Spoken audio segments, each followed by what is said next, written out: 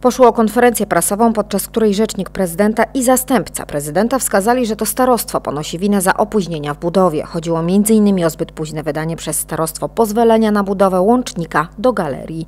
Zarzucono także bałagan w Wydziale Administracji Budowlanej i opieszałość urzędników.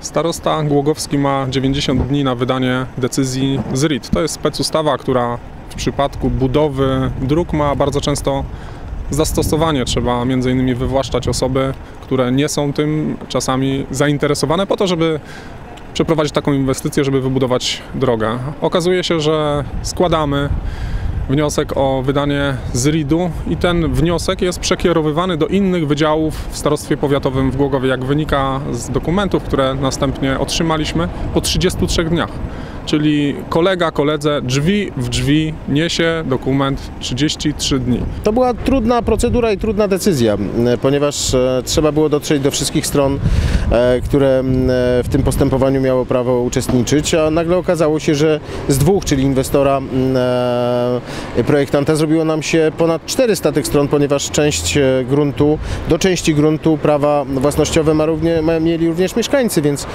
trzeba było do tych ludzi dotrzeć, awizować czasami czasami te wezwania, oni mieli prawo tutaj dotrzeć, e, zobaczyć te dokumenty, wnieść swoje uwagi. Ten proces był rzeczywiście długi, ale on się zakończył. Władze starostwa uważają, że pozwolenie z RIT na budowę łącznika nie ma nic wspólnego z pozwoleniem na budowę galerii. To jest e, jeden z e, takich argumentów w tej chwili za tym, dlaczego ta galeria jeszcze nie powstaje. Natomiast tak prawdę mówiąc, ta droga ma się do galerii oczywiście w perspektywie końcowej bardzo, natomiast ona nie jest żadnym warunkiem do tego, żeby ta galeria powstawała. Decyzja na budowę została wydana w maju zeszłego roku. Od ponad roku inwestor ma prawo tutaj budować. Ten plac budowy, czy ten plac na razie, bo jeszcze placem budowy chyba nie jest, ma swoją komunikację, zresztą inaczej nie dostaliby pozwolenia na budowę. Częściowo sprzęt ciężki już na tym terenie pracował. Tutaj dokonywano e, takie, takich działań, które zmierzały do wyrównania tego terenu, więc te prace mogły przebiegać bez żadnych zakłóceń. To jest droga, która jest budowana po to, żeby zapewnić dobry układ komunikacyjny nowo powstającej galerii w tamtym miejscu.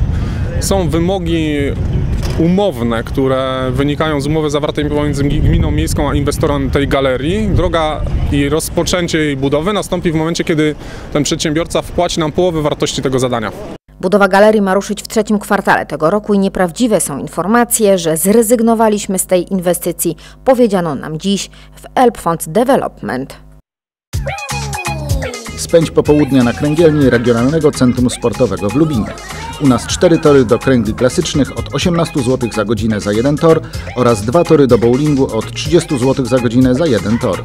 Rezerwacja telefoniczna 76 846 08 35 lub 076 846 08 28 wewnętrzny 12.